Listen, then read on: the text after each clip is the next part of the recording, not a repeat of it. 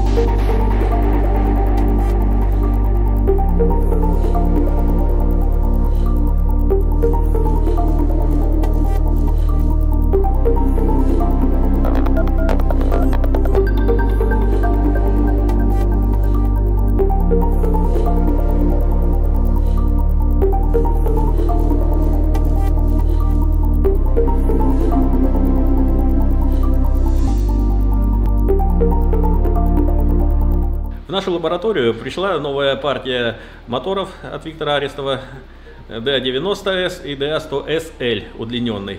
Мы их э, протестировали, получили ожидаемо хороший результат. Оба мотора показали э, КПД э, в номинальном режиме до 90% и довольно в широком диапазоне моментов тоже КПД, соответственно, в районе 85-88% имел место быть. В данном случае мы наблюдаем график для DA90L, вот, для DA90S. Значит, видим, что даже в некотором режиме у нас в конце перепрыгнуло за 90% КПД. Перепрыгнул. Вот, для DA100 SL у нас чуть-чуть до 90 он не дошел, но тем не менее 88 с копейка, почти 89 процентов. Значит, мотор прекрасно держит перегрузы до 60 ньютон на метр длительно. Значит, ну, моторы очень хорошие моторчики, хорошо будут работать без перегрева, будут радовать своих владельцев на электротранспорте.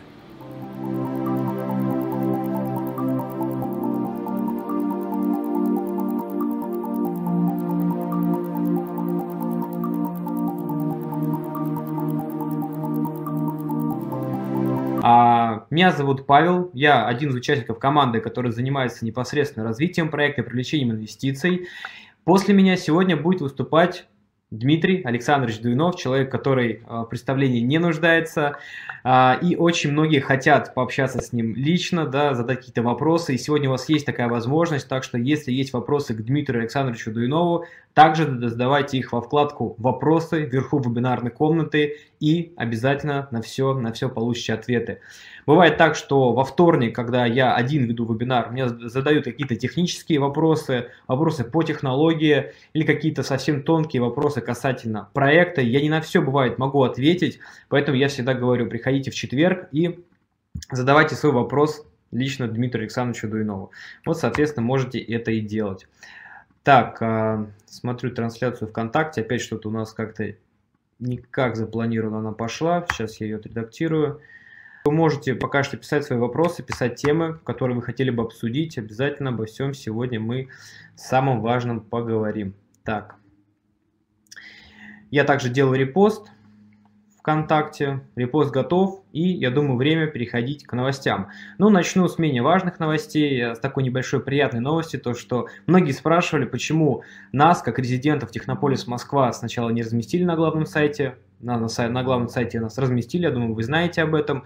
Потом многие писали, а почему же мы не в том разделе. Ну, соответственно, сейчас э, нас перенесли в правильный для нашего проекта раздел «Энергоэффективные технологии». Соответственно, теперь вы можете найти нашу компанию в качестве э, списка резидентов на главном сайте Технополис Москва в нужном разделе. А, далее, да, что у нас еще грядет из а, важных событий, которые стоит отметить, таких, которые как списочно, да, пробежаться. Это, конечно, мероприятие. Я напоминаю, что сейчас у нас э, будет три мероприятия в разных городах. Это Ростов-на-Дону, это Санкт-Петербург и это Минск. Так что, друзья, кто живут в соседних городах или в этих, обязательно приходите. Там будет презентация проекта, будут последние новости. В общем-то, это возможность пообщаться с партнерами, с инвесторами и узнать э, о технологии более подробно. Потому что живое общение, конечно, ничто не заменит. Так что приходите для того, чтобы пообщаться как минимум с единомышленниками, как максимум максимум пригласить на данное мероприятие своих друзей, чтобы они могли также послушать о нашем проекте, а послушать, как вы знаете, есть о чем. А, также хотел отметить, что многие постоянно спрашивали, а будет ли запись нашего большого мероприятия, которое прошло у нас а, в середине февраля. Оно было такое завершающее, а, скажем так, этап, да, завершался под это мероприятие.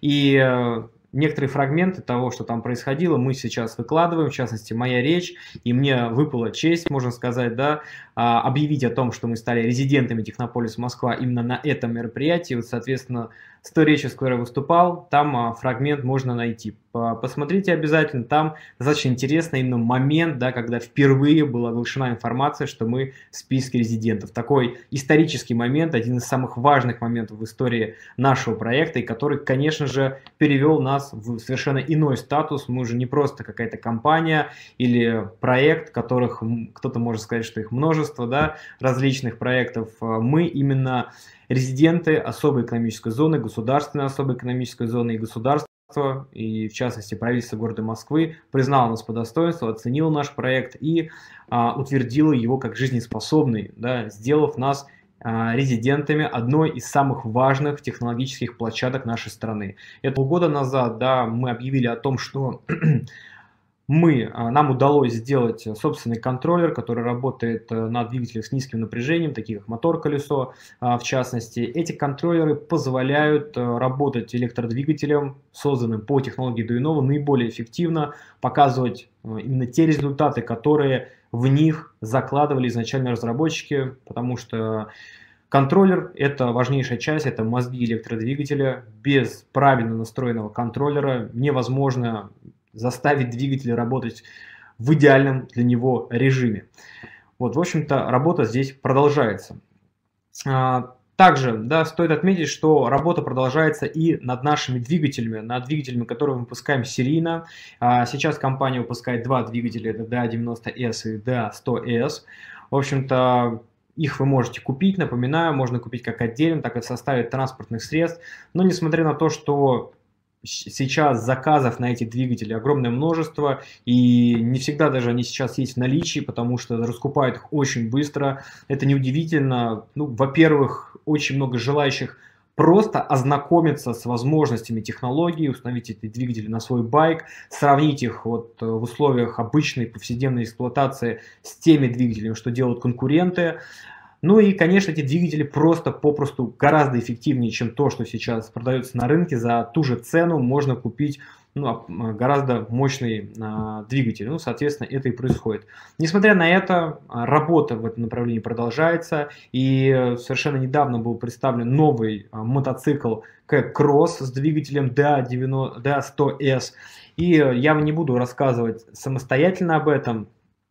Я а, покажу вам видеоролик, где достаточно подробно Александр Сударев а, рассказал, что это за двигатель, представленный, а, что это за новый мотоцикл, который идет в сборке с двигателем DA100S. Так, и, соответственно, на что он способен, сейчас вы сможете это оценить. Так, а у кого видео, если не пойдет, нажмите кнопочку F5, перезагрузите страницу и видео.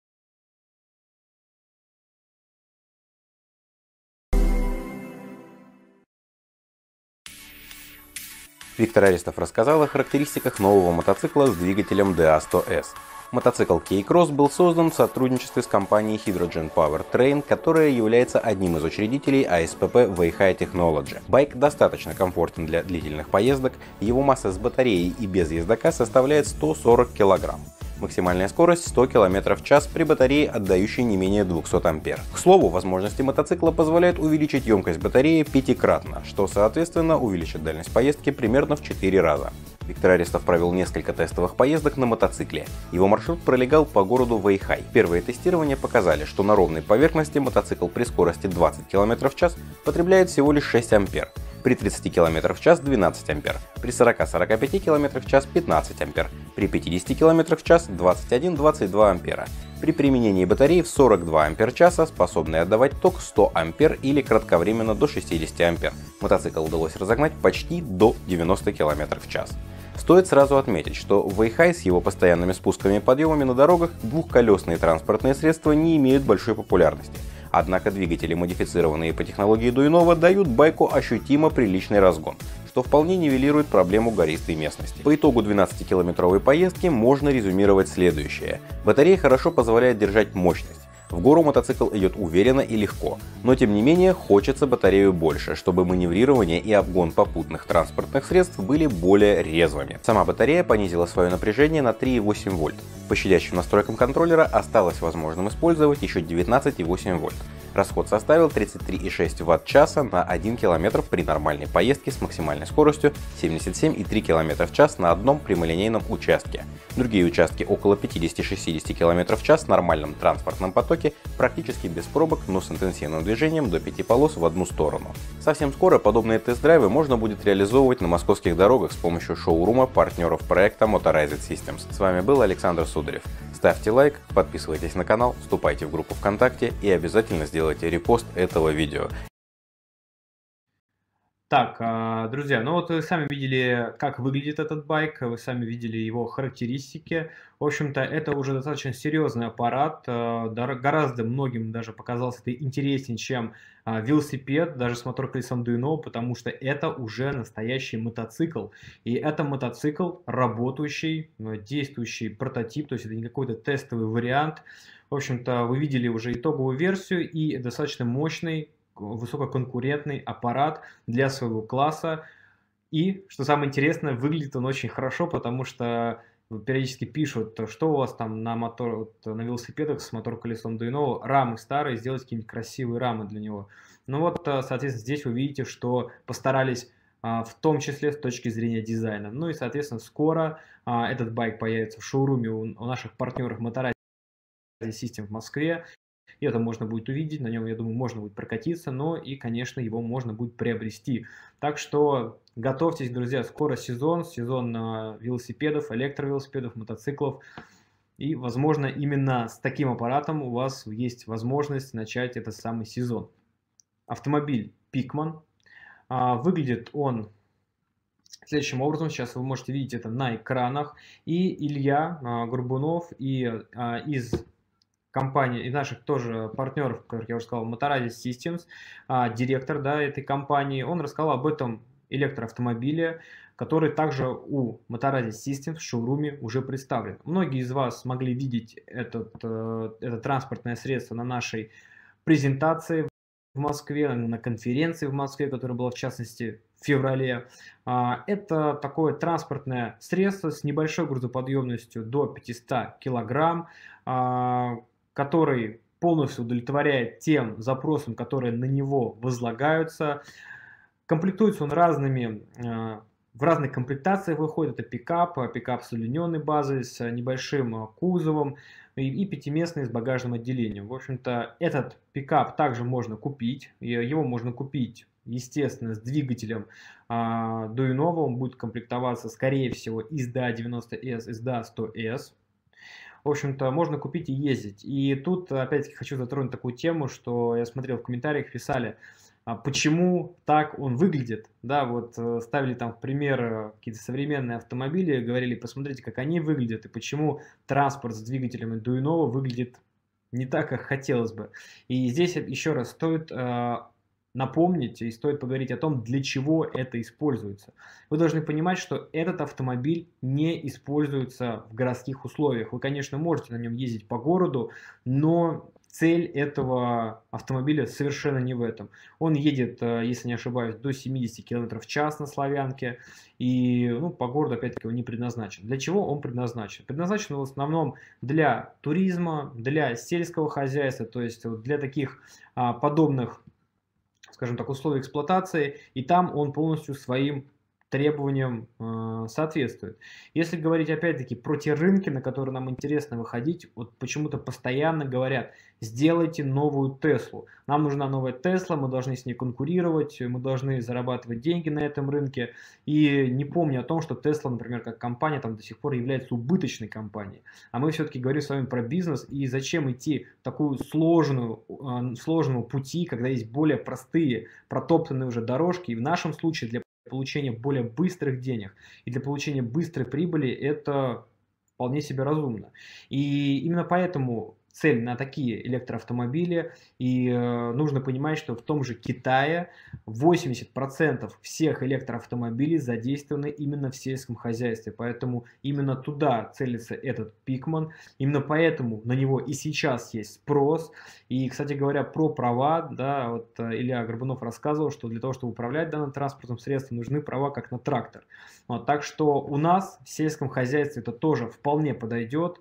Возить какие-то грузы, пожалуйста, для этих условий он вполне подходит. Так что, еще раз, это можно приобрести, это транспорт с двигателем Дуинова, и более подробно, еще раз, о характеристиках, там, об условиях покупки вы можете узнать у Motorized Systems. Ну, раз я уже сказал о двигателе D90S э, вот, применительно к данным транспортным средствам, у вас, наверное, вопрос, да, вот насколько хорошо, э, что этот э, электроавтомобиль, в частности, оборудован именно таким двигателем. И сейчас э, вышли очередные испытания двигателей DA90S, и протоколы, с протоколами этих испытаний вы можете без проблем ознакомиться. А, видео, где Виктор Корхов рассказывает, говорю, Игорь Корхов рассказывает о том, как проходили эти испытания, вы можете найти на нашем YouTube-канале или в новостях. Там же вы можете увидеть протокол испытаний двигателя D90S. Вот я его загрузил в вебинарную комнату, но почему-то так, не загрузился. Сейчас я тогда скриншот первого комнату загружу. Так, э, вы можете его посмотреть. В общем-то, так, вот видите, да, протокол номер такой-то, испытание двигателя асинхронного типа D90S, опытный образец. Ну и, соответственно, Дальше вы можете там увидеть э, цели испытаний, ну, в общем-то, обычный регламент того, как это выполняется. Ну и потом уже сами результаты. Еще раз, со всеми результатами, со всеми протоколами вы можете ознакомиться в наших новостях. Меня зовут Илья, и мы находимся на производственной э, базе в городе Пушкино, улица Заводская. И сегодня я вам немного расскажу про вот этих малышек. Как вы, может быть, ранее уже видели, это Пикман, это электрокар, работает это синхроника. Батареи на данный момент здесь стоят свинцовые, 6 э, штук под днищу, 72 э, вольта, 100 ампер часов. Вот. У нас поступало очень много вопросов, для чего тачка, что с ней делать, короче, куда ее там, чего. В общем, объясняю. Э, тачка предназначена для производства, для туризма или, например, для какого-то небольшого фермерства. Вот. Эти машины не предназначены для повседневных поездок по городу. Э, максимальная скорость данных моделей это 45 км в час. Э, на э, Славянке это будет до 70 км в час. Но опять же, документы, выдающиеся к этой машине, это, грубо говоря, документы на трактор. То есть вы сможете ездить на этом авто по удостоверению тракториста. Соответственно, еще раз повторюсь, что тачка производственная. Грузоподъемность машины ну, от 500 килограмм. Лично мы ее грузили полтонны без проблем. А, по расстоянию запаса хода на штатных батареях при минус 20 она проезжает около полтинника. Соответственно, летом она будет проезжать и до 100 км в час. Машина поставляется в разных комплектациях, как э, пикап, так и с большим кузовом, удлиненная база также есть версии, которые вы могли ранее видеть там э, на канале проекта, э, пятиместная, с небольшим багажничком. Еще раз хотел бы внести ясность, автомобиль исключительно производственный. То есть не надо думать, что вы на нем сможете ездить по городу. Э, возможность езды по городу здесь, конечно, есть, но изначально это машина для закрытых пространств, для перевозки малогабаритных грузов.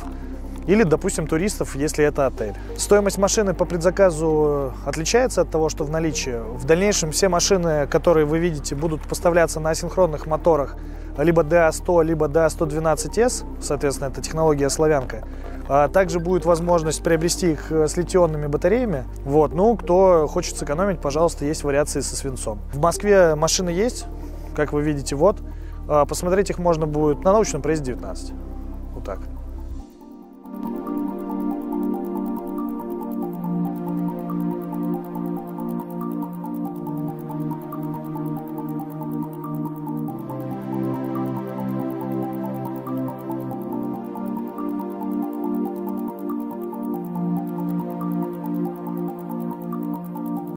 Я думаю, что на грядущих вебинарах мы об этом уже более подробно скажем.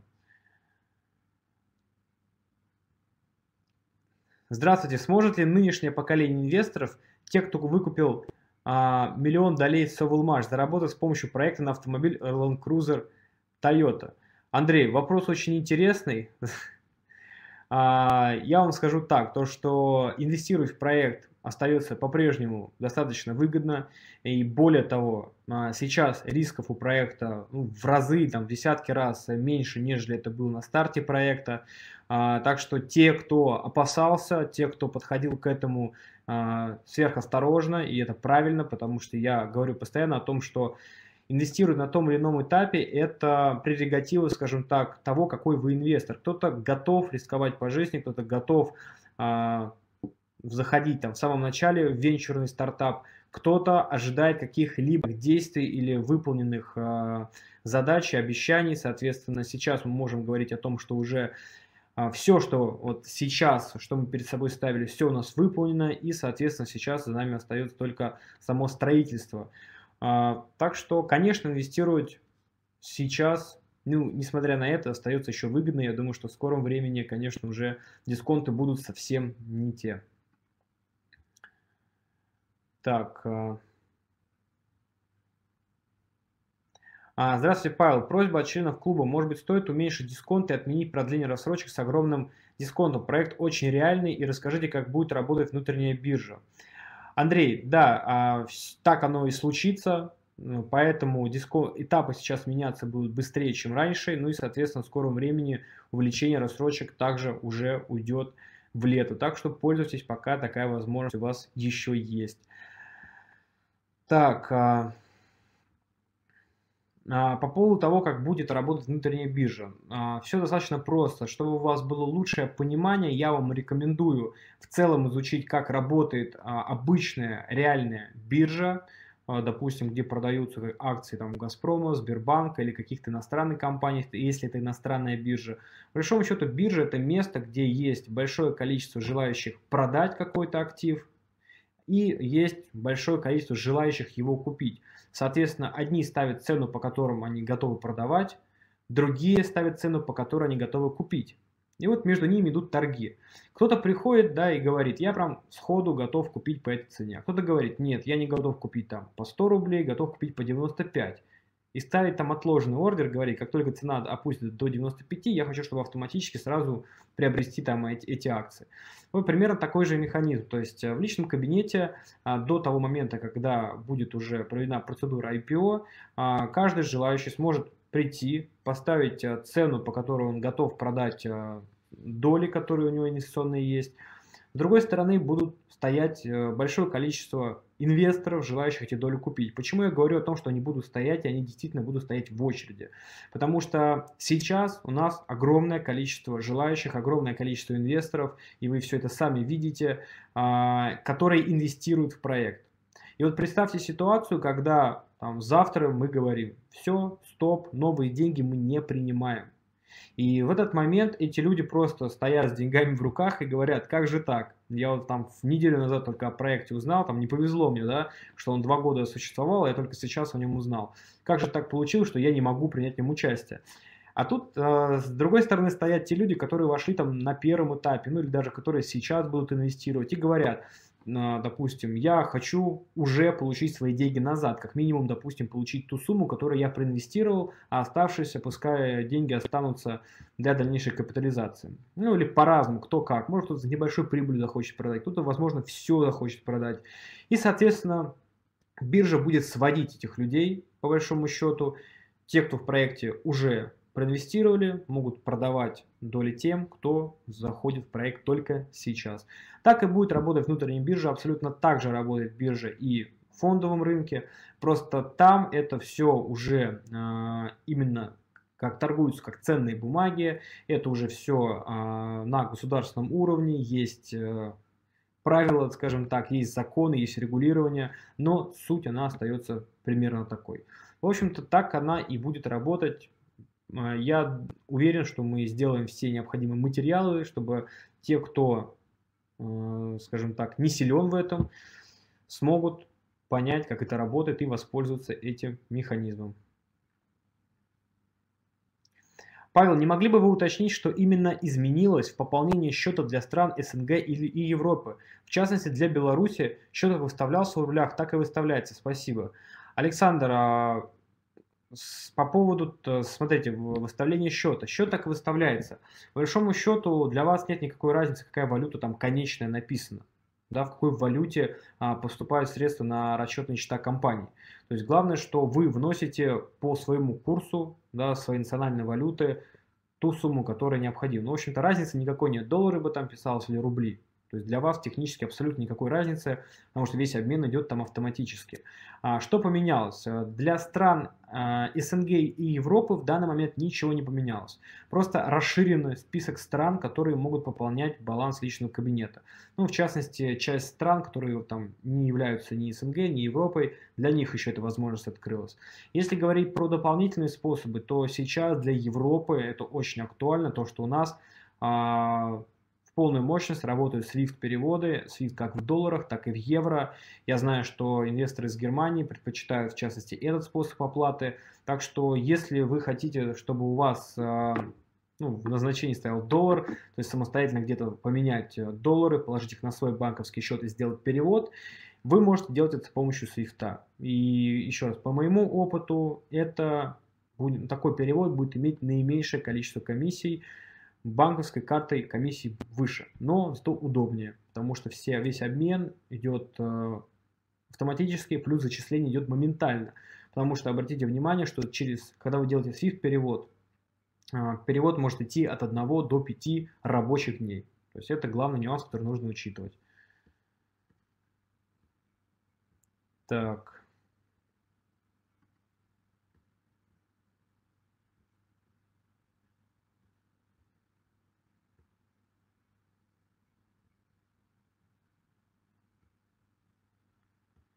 Почему перевод названия пятого раздела договора инвестирования неправильный? А, очень интересный вопрос. Не знаю, с чего вы взяли, что это неправильный перевод. Да? Я могу вам сказать, что он точно правильный. И ну, я не знаю, просто вы как утверждаете, что он неправильный. Я могу сказать, что он правильный. Ну, с такой же уверенностью, как вы написали, что а, что-то в договоре не так переведено.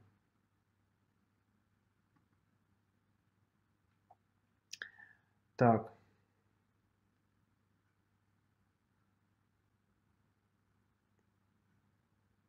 А, вопрос по поводу, а, смотри, по а, Сергей обращается к Дмитрию Александровичу Дуинову, но я с своей стороны тоже прокомментирую. Вопрос, почему я регистрируюсь не по рефералке, а в разделе партнеры появляется пригласитель Владимир Петров и его контакты? По-моему, ваши партнеры... Так, по-моему, ваши партнеры обманом присваивают реферальное отчисление. Сергей, давайте так. Первое. Я не знаю, такой Владимир Петров, и, может быть, он даже нас сейчас слышит. И я вам объясню, как такая ситуация происходит. Дело в том, что а, Многие узнают о проекте из интернета. Вот просто вы где-то лазили там по Ютубу, где-то вы были на каких-то форумах, на каких-то сайтах. И там вы увидели информацию о проекте. Вы перешли на сайт, вы почитали о проекте, вы сейчас на этом вебинаре находитесь. И вы думаете, как хорошо, что я узнал об этом проекте. Причем вы думаете, что вы узнали о нем самостоятельно. Вот вы лазили по интернету, вам же никто не звонил, не писал, правильно, вы сами нашли наш сайт. Но на самом деле вы а, узнали о нас, потому что перешли по чьей-то рекламе. Просто вы не знали, что это реклама. Э, в 95% случаев это именно по этой причине. Вы думали, что вы просто увидели какую-то ссылку, перешли, а это была рекламная ссылка, соответственно, там была вшита партнерская ссылка наших партнеров. Поэтому они, соответственно, и вы закрепились у них в структуре. Это раз. А, второе. В 5% случаев бывает другая ситуация, что действительно вам кто-то рассказал из знакомых, или вы где-то услышали там, может быть, 10 лет назад вообще о Дуинове, и сейчас узнали о проекте. А, в таком случае вполне возможно вы где-то лазили просто по интернету и случайно эту ссылку нажали. Ну, точнее, 100% именно так. Другой ситуации быть не может. Понимаете? Потому что а, когда люди регистрируются без партнерской ссылки, они не попадают к конкретному партнеру. Ну, все очень просто. Там огромный механизм, который полностью автоматизирован. И я думаю, что я вам понятно объяснил.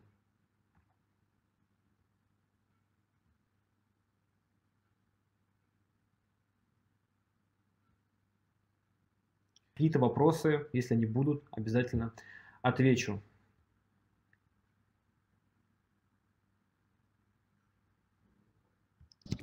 Так, а, так. А.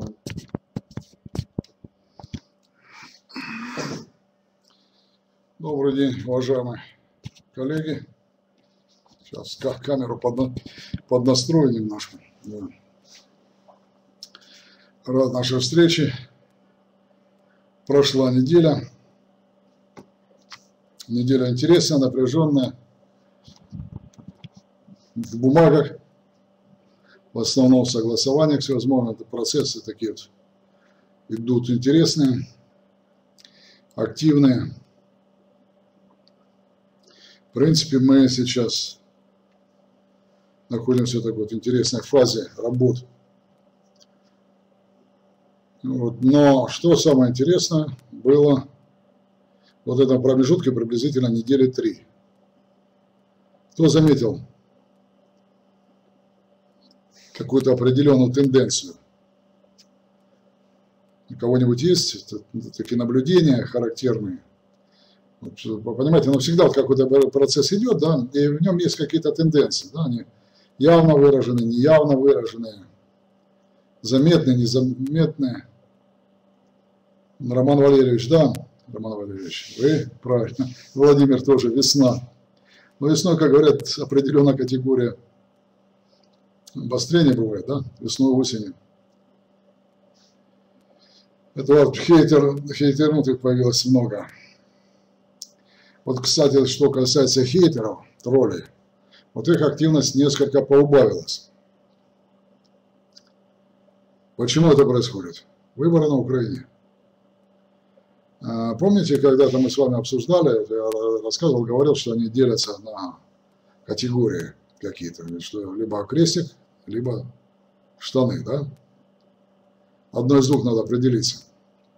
Так вот, э, основная масса хейтеров, троллей перебросилась туда, что как раз характеризует их не как борцов за идею таких принципиальных людей, а как людей, которые зарабатывают на фейках, на дискредитации и так далее, им платят за это. Только вот, понимаете, одно непонятно, ведь живут же многие в этой стране, в России, и дети их не. И получается, что деньги не пахнут любой ценой. А что будет, какие будут последствия потом для всего, да им по барабану. Ну, а если им по барабану, то, как говорится, извините, это таких людей во время определенных событий, во время Великой Отечественной войны, во время сложных периодов, их к ногтю давили. И вот сейчас вышли, выходит законодательство, вступает в силу о фейках, о дискредитации и так далее, и так далее. И нач... я думаю, что скоро начнется для них интересный период. Пусть на выборы еще года два идут. Сергей, да, справимся это. Вот, на прошлом вебинаре Павел демонстрировал видео. Кстати, уважаемые коллеги, а, я хочу от лица коллектива всего нашего дружно поздравить Павла с прошедшим днем рождения. Я думаю, что вы тоже присоединяетесь к этому поздравлению. У него вчера был день рождения. Поэтому, Павел, с днем рождения, здоровья тебе, сил и чтобы у тебя впереди светило будущее, нормальное, хорошее, светлое, и чтобы вы еще много проектов поставили на ноги с командой. И чтобы в итоге мог сказать вместе со своими коллегами, что мы это сделали. Вот Павел демонстрировал видео, в котором, ну так получилось, заехали Александр Судоров с Евгением, и как раз занимались документами, с копиями документами отсняли а, те документы, которых много речи было, много говорили. Это и заявка в Алабушу, и предпроектное техническое задание, много-много другого. И была возможность увидеть визуально, что это такое. Вот я думаю, что в группе ВКонтакте там выложено будет э, ссылочка и на ресурсах на это видео посмотрите. Оно немножко отличается от обычных материалов, которые привыкли давать. Вот, ну и позволяет сложить впечатление о том, какая же работа ведется с документацией. И некоторые люди не знают, не представляют себе, что это такое вообще, да? Э, какой-то объем и сколько надо, надо тратить время и сил. Но в дополнение к этому видео хотел бы сказать следующее, что сейчас э, мы достигли соглашения с органом сертификации и стандартизации о том, что будет проведена аттестация программы методик и аттестация лаборатории. В принципе, это итог большого объема работы, большой, большой объем работы, вот подводим итог. Почему? Потому что мы с ними уже проработали не один цикл, не один этап. Вот это сейчас уже входим в завершающую стадию заключения договора. Вот, и уже выполнение основного объема работы. Потому что до этого были, шли согласования всевозможные. И поверьте, объем документов там тоже впечатлительный, впечатляющий, извините. И там за каждым словом, за каждой запятой стоит ГОСТ, регламент, инструкция и так далее, так далее, так далее. Значит, после того, как эти работы будут выполнены, мы сможем давать официальное заключение. Ну, а саму лабораторию вы уже видели. Ну, и видели часть результатов ее работы в виде таких простых протоколов. Затем будет э, выполнена работа по аттестации, сертификации и утверждению технических условий. Значит, вначале эти технические условия будут э, техническими условиями главного конструктора, потому что многие вещи надо будет подтверждать, которые там записаны. Но эти технические условия, они будут состоять, на самом деле, не единые будут, а их будет несколько этих технических условий, которые будут э, предназначены для разработки двигателей как общепромышленного назначения, исполнения IP55, 65 и так далее, повышенной защищенности, так и встраиваемых двигателей. И надеюсь, что все-таки нам удастся создать технические условия на тяговые двигатели. Потому что если э, с стандартными двигателями вообще промышленного назначения все более-менее ясно, есть разработаны массогабаритные размеры, присоединительные размеры, там все ясно, то вот в отношении мотор колес и тяговых двигателей там нет ясности такой и нет строгих требований, привязки к габаритам. Ну, есть разные мнения, но еще не устоявшийся этот вопрос, и над этим придется очень хорошо поработать. Мы надеемся, что с этой работой справимся. Значит, э, зачем все это надо? Вот мы сделали, допустим, предприятие, сделали все нормально, это инструмент. Но что мы с помощью этого инструмента будем делать? Люди – инструмент, станки – инструмент, оборудование – это инструмент. Все это инструмент. Но теперь нам надо определить правила, по которым мы будем делать продукцию. Вот эти правила, что же из себя будет представлять продукция, которую мы будем разрабатывать, они описаны в технических условиях. Значит, э, тот продукт, который мы будем разрабатывать, должен строго соответствовать тому, что там прописано.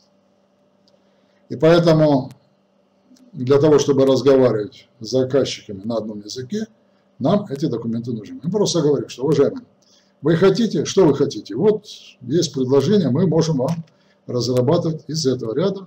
И давайте смотреть. Значит, какими параметрами должны обладать? Вот этими, которые прописаны в ТУ. Хорошо, ну вот мы сделали, теперь вопрос. Как мы будем это все проверять? Вот программа методика, да? Вот с помощью этой программы. Где? В лаборатории. И так далее, так далее. Поэтому для того, чтобы разговаривать с заказчиками, нужны все эти документы. И заказчики на разработку – это не те люди, которые ходят в шоурумы, не те люди, которые катаются на велосипедах, поверьте. Там идет разговор совершенно другой, совершенно другой. Не на ощущениях, мне понравилось, мне не понравилось.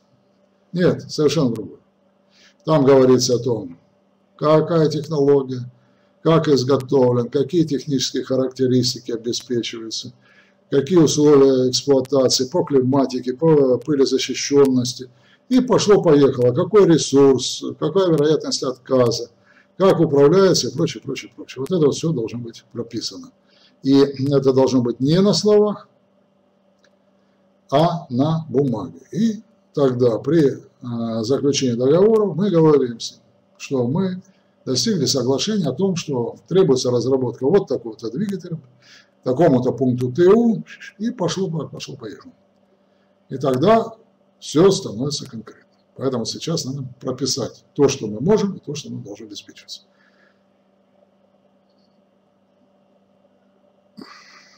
Мама в теме, ее спроси. Понятно. Ну, приблизительно такая ситуация. Значит, а что касается дальше вопросов по Алабушу.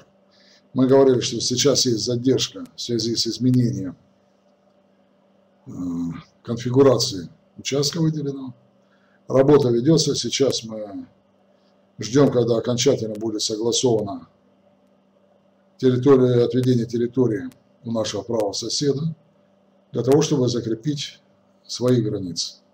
Но тем не менее, работа сейчас идет по привязке здания в соответствии со всеми нормами и требованиями. Вот. Ну, а это отодвинет нас, существенно отодвинет.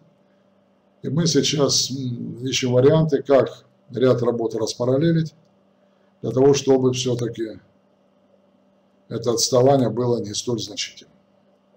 Работа большая, очень много приходится обсуждать, говорить. Куда денешься? Не все коту, коту масленица.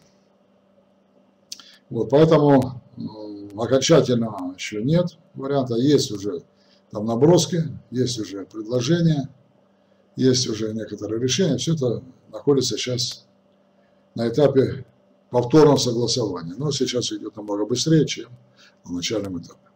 Ну, принципе, то, что неделя прошедшая нам принесла.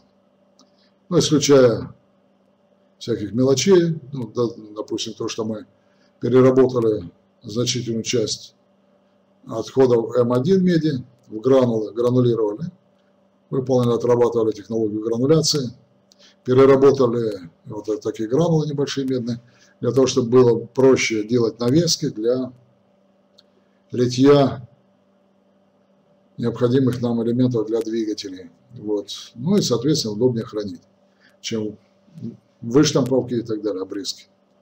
Вот. Ну и за, заодно, соответственно, сотрудники обучаются работать э, с установкой, нарабатывается опыт. Эта работа ведется, ведется работа по тестированию двигателей 90 габарита, 100 габарита. Есть там целый ряд замечаний, требуются доработки. Ну, все это, все это уже идут чисто технические такие работы, уже, будем говорить так, более понятные и привычные сотрудникам. Вот. Ну, вроде бы как и все. Значит, то, что на следующую неделю намечено, то поговорим уже в следующий четверг. Забегать вперед не будем. Посмотрим, что эта неделя нам принесет. Надеюсь, что без дополнительных неожиданностей. Поэтому, уважаемые коллеги, если разрешите, я перейду к вопросам. Если считаете... Так, считаете возможным, расскажите, пожалуйста, о лазерную систему отечественного производителя купили, исходя из каких критериев. Как она, кстати, себя показывает. Спасибо. Владимир, мы исходили из того, что производитель здесь, не придется гоняться и таскать его из-за рубежа. Но все равно лазерная система, она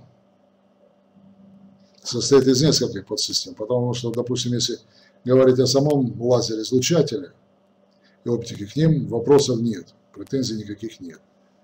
Рабочий стол, вроде бы как нет. Привода, а, линейного перемещения, ну, есть вопросы.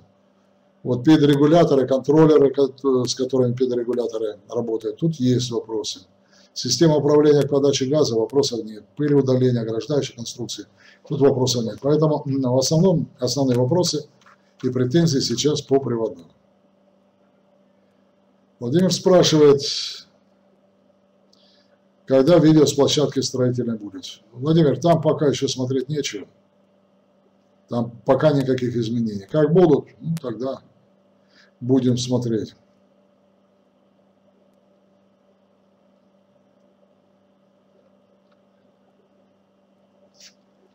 Здравствуйте. Интеллектуальная материальная часть компании оценена в 8 миллиардов долларов. Радик, ну, интеллектуальную собственность еще не оценили, потому что работа над ее созданием еще ведется. Поэтому сейчас, в принципе, получены только первые патенты, первые положительные решения, поэтому интеллектуальная собственность еще не сформирована всем. Говорить рано.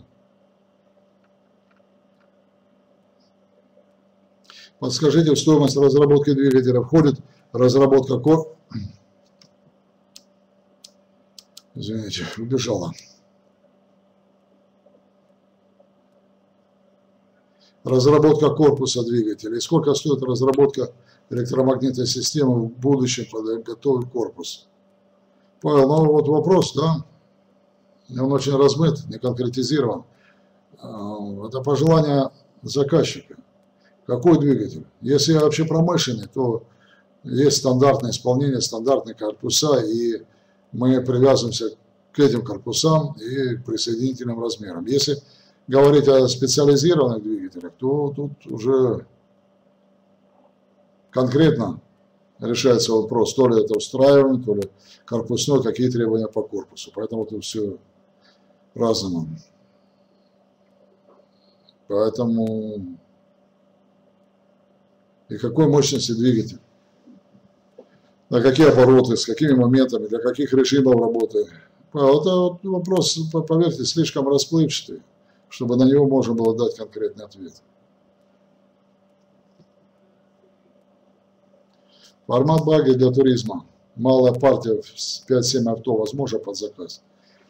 Андер, мы занимаемся по проекту, занимаемся проектированием электрических машин, но не транспортом. Транспортом занимаются вот у Виктора Арестова, Илья Моторайс Систем и так далее. Эти компании занимаются. Наша задача разработать двигатели и поставить их в производство.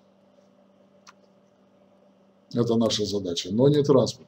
Мы сейчас, допустим, если демонстрируем где-то транспорт с нашими двигателями, это просто демо-образцы для того, чтобы показать возможности технологии.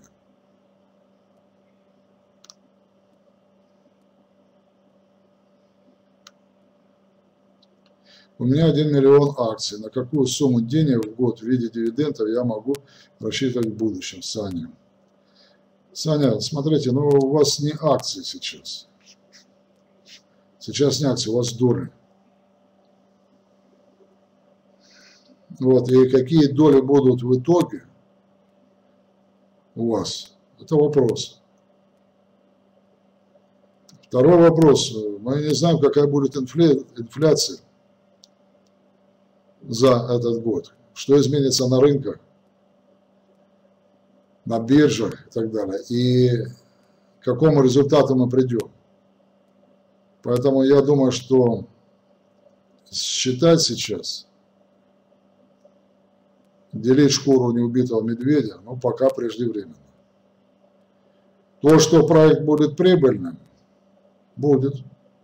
Но какова будет прибыль этой, какой размер будет?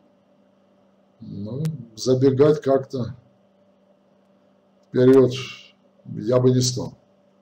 Тем более, что я не, не люблю вот, заниматься в угадалке. Я более предпочитаю говорить о свершившихся делах, нежели о планах. Потому что, ну, планы – это планы, показатели, все это. Потому что, ну, много раз уже убеждался, что пишешь бизнес-планы, там, прикидываешь и так далее, но все получается совершенно по-другому. И даже когда ты сидишь рассчитывал, что вот какое-то изделие делать, вот какие затраты будут, там сколько материалов, цена, вроде посчитал, время, затраты, все посчитал, потом закрываешь глаза и так, скрипя сердце, умножаешь все это на три. И тогда получаешь, ну, более-менее реальные цифры. Поэтому я не возьму на себя сейчас ответственность заявлять сколько, как будет. Потому что ну, слово, оно не воробей, и слову цена должна быть тоже. Павел спрашивает, подойдет ли контроллер от обычной синхроника к двигателю на славянке? Ну, если это обычный синхроник и перемотан на славянку, да, подойдет, конечно. Почему нет электроавто на низком напряжении, допустим, 48 вольт, а если в основном только около 400 вольт? Да, все очень просто. Дело в том, что для того, чтобы получить мощность там, э, ну скажем, 150-160 киловатт, ну, при таком низком напряжении надо будет очень большой ток развивать. Для того, чтобы минимизировать потери, нужно проводники очень толстые ставить. А это дорого и плюс лишняя масса. Поэтому выбирают более оптимальное напряжение, более высокое. И плюс ко всему, смотрите, в чем дело. Если мы говорим о двухколесных транспортных средствах, то их в основном обслуживают э, потребитель. Если мы говорим об автомобилях, то их в основном обслуживают станции технического обслуживания. А ведь если мы возьмем велосипед, ну, не каждый имеет категорию допуска работы с напряжением там, выше 1000 вольт, либо до 1000 вольт и так далее. Поэтому там и напряжение более безопасное выбирается. А так лучше работать, конечно, на больших мощностях, на более высоких напряжениях.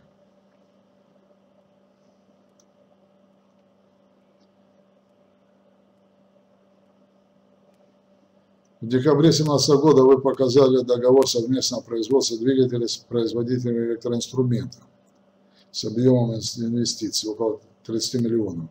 Расскажите о судьбе этого договора, какие по нему движения. Там что-то строится. Смотрите, сейчас основная проблема, или не проблема, а задача – это вот довести до ума тот двигатель, который мы демонстрировали в углошлифовальной машинке. Потому что образец показан, это не разработка. Поверьте, это образец. Для того, чтобы сделать полностью разработку, нам нужно довести до ума то, что мы с вами делаем. Это на площадке Алабушева. Без нее разработку завершить невозможно. Поэтому находимся в режиме ожидания результатов. Имеется в виду по этому договору. Ну и прилагаем все усилия для того, чтобы сроки эти как можно более, более поджатые. А, уточните, когда начнется стройка, по чьей вине очередная задержка, бренд. Точно не назову. Единственное, могу сказать, что сразу же после экспертизы и после проведения проектно-изыскательных работ. По чьей вине очередная задержка? Ну, я уже объяснял на одном вебинаре, что причина это в том, что чуть-чуть, так скажем, залезли соседи на участок. В принципе, там было непонятно, согласуют им или заставить снести. Ну, согласовали.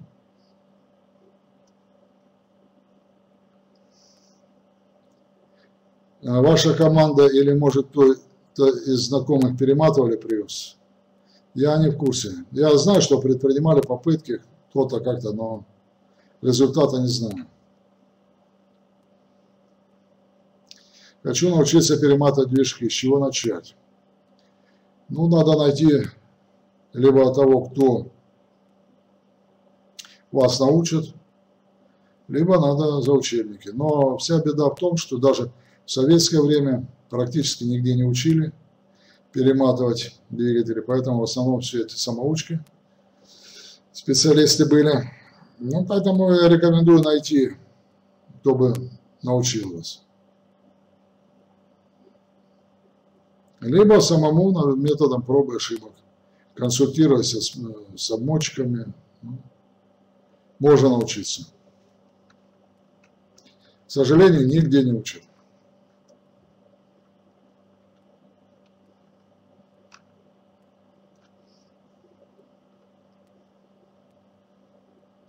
Какая сейчас юридическая связь и взаимоотношения между Solar Group и Solar а, Владимир, договор.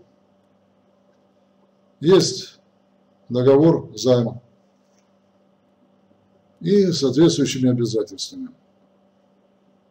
Поэтому вы же поймите правильно, что деньги не могут просто так перечисляться от одной организации к другой без договора соответствующего, потому что никакой банк эти операции не пропустит. Наткнулся на книгу «Сталин и деньги» на Кома финансового СССР Зверева.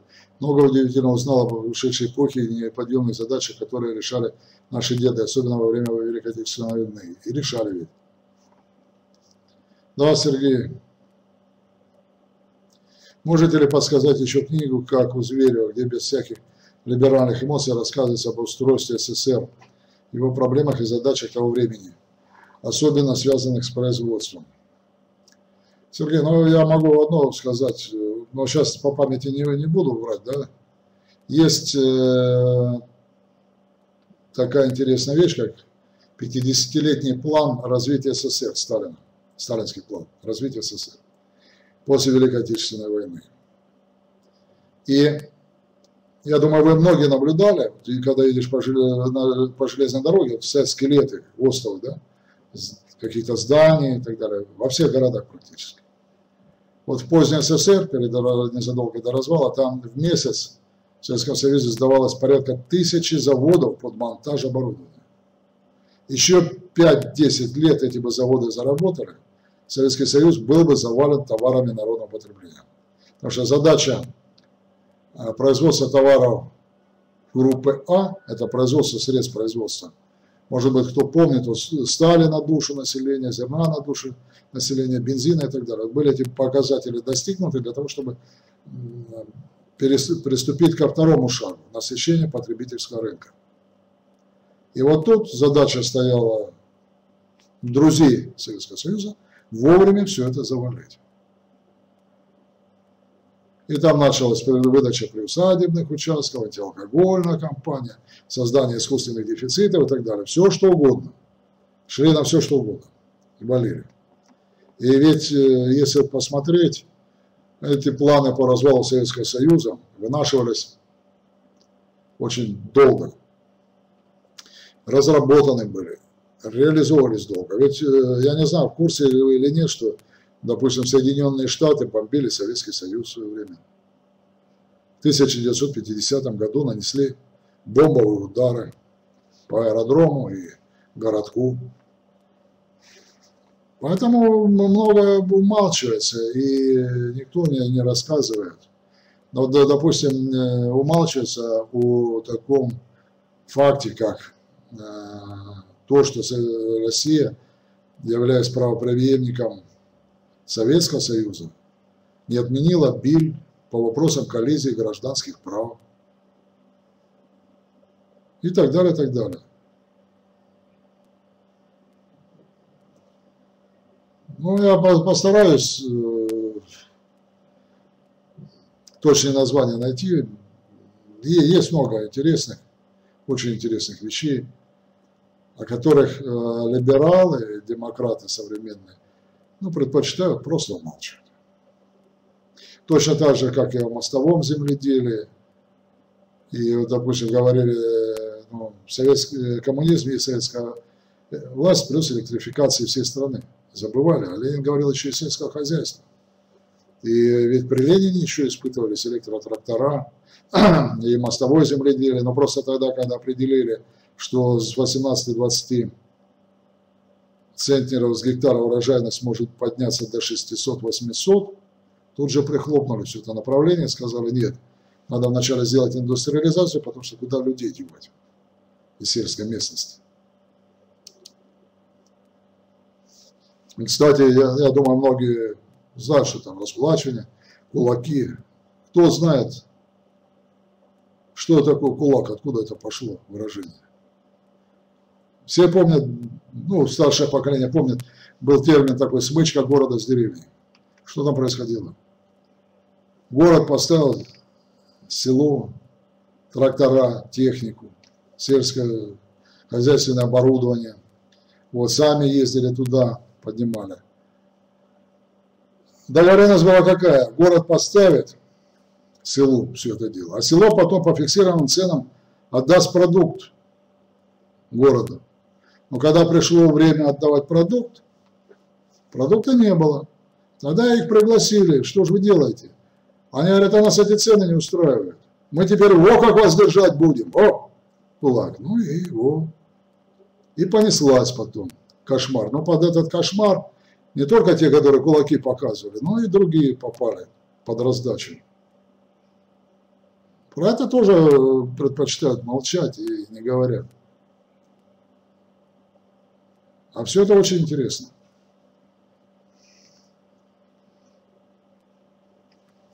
Дмитрий Александрович, получилось ли сотрудничество с Рыбником по подшипникам? Артем, ну пока преждевременно говорить по, по сотрудничеству с подшипником. Сотрудничество с подшипником Рыбника необходимо налаживать тогда, когда уже ставится серийное производство. Тогда имеется, имеет смысл полный.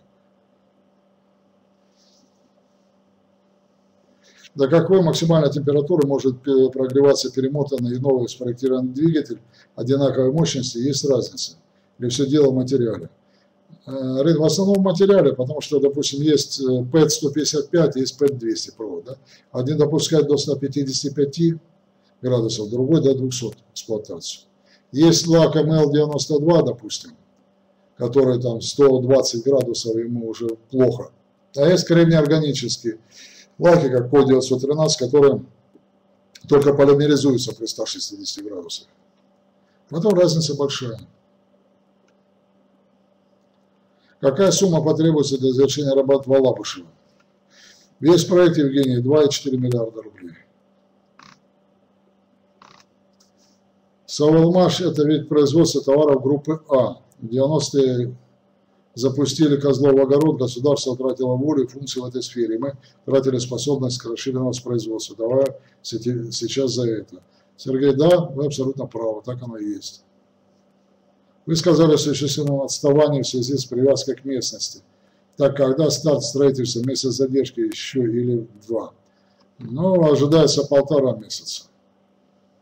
Потому что это нам надо будет опять все работы по получению выписки из кадастра, а для этого нам надо закрепить участок нового, новой геометрии и так далее. Там много работы.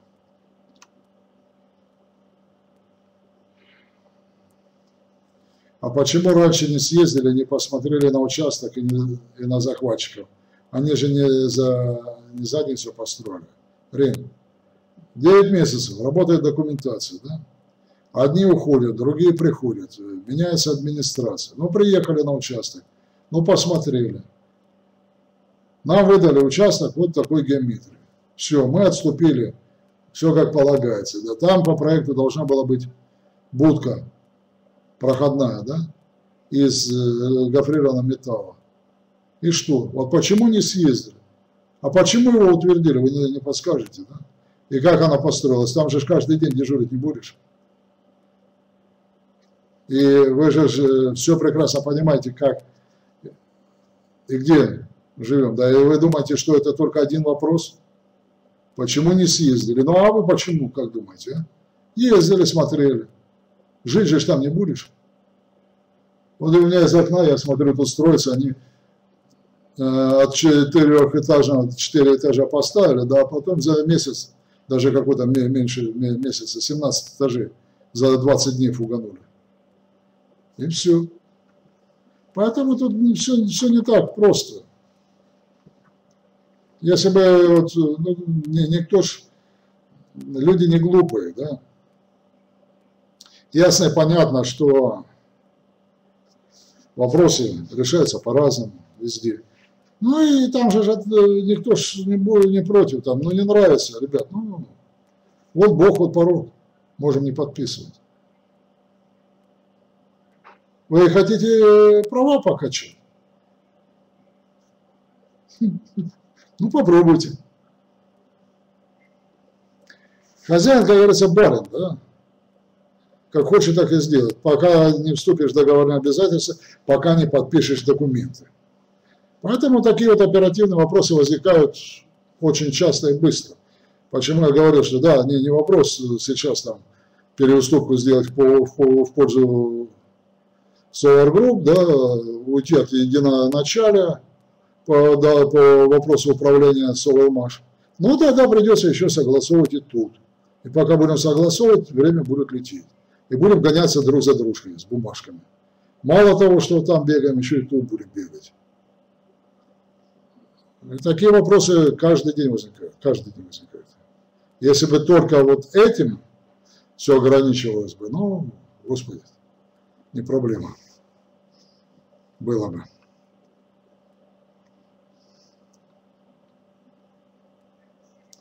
Следите за здоровьем. Спасибо. Слежу.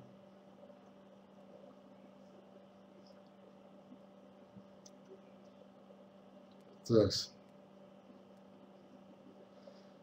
У вас не возникла мысль изменить график вебинара раз в месяц, например? Роман, да не знаю, как, как удобнее коллегам, партнерам, так и будет. Хочу вернуться к числу по зову роторестатора. В интернете есть информация где на 96 пазах статора вы указали 88 пазов ротора.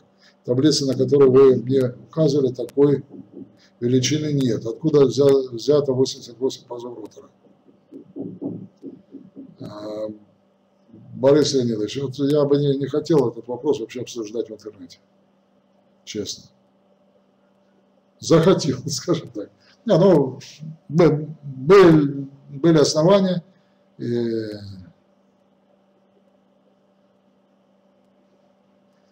на то была необходимость.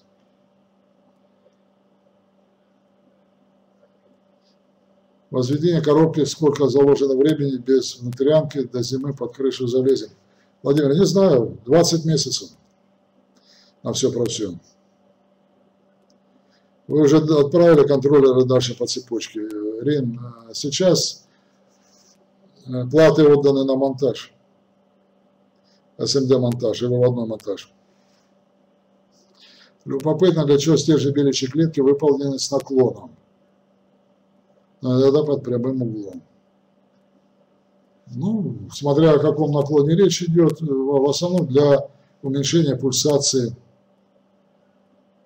момента на малых оборотах и пускового.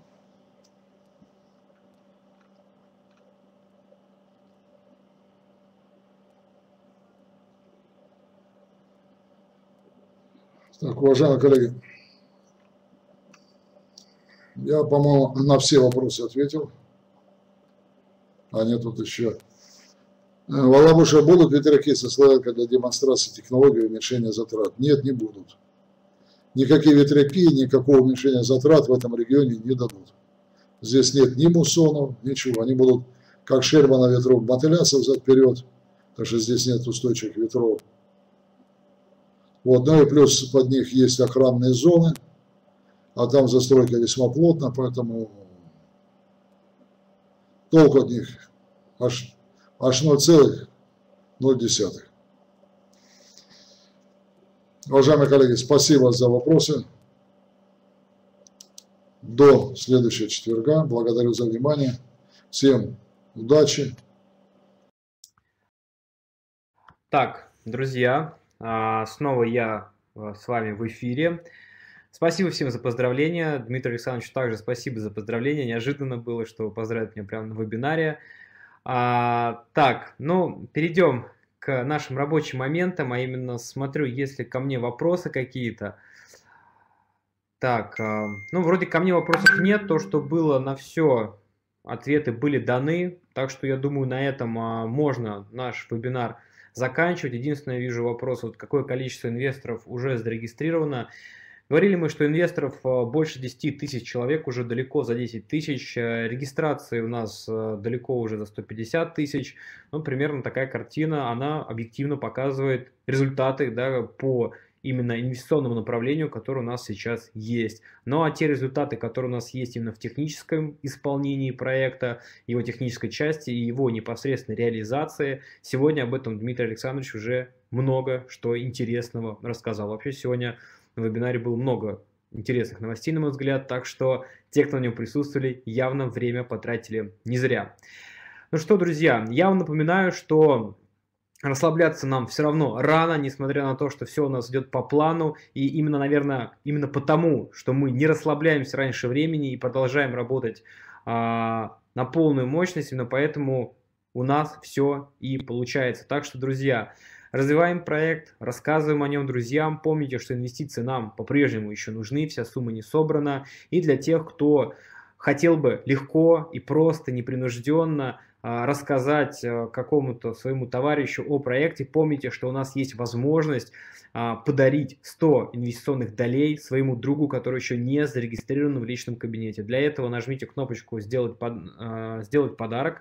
Красным цветом она в личном кабинете выделена вводите имя, фамилию, почту, телефон вашего друга, и он получает 100 инвестиционных долей. Соответственно, если он в течение месяца после этого пройдет верификацию, эти инвестиционные доли у него останутся навсегда, и он сможет поучаствовать а, в становлении нашего предприятия и заработать на этом также. Причем а, это, как правило, повод э, прийти к своему другу не с предложением там зарегистрироваться или сделать инвестицию, а именно с, как повод сделать ему подарок.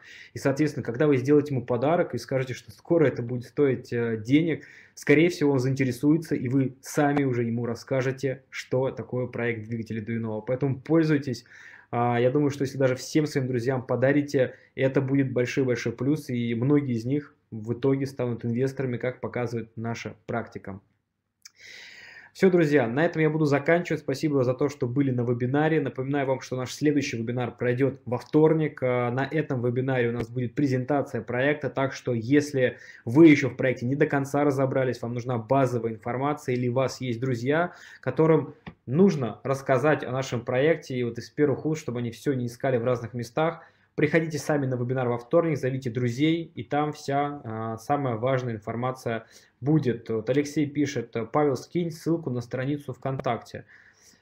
Так, сейчас, а, кто хочет со мной пообщаться, какой-то вопрос задать, либо просто быть на связи, можете писать мне ВКонтакте. Ссылку на свою страницу я высылаю в чат вебинарный ком.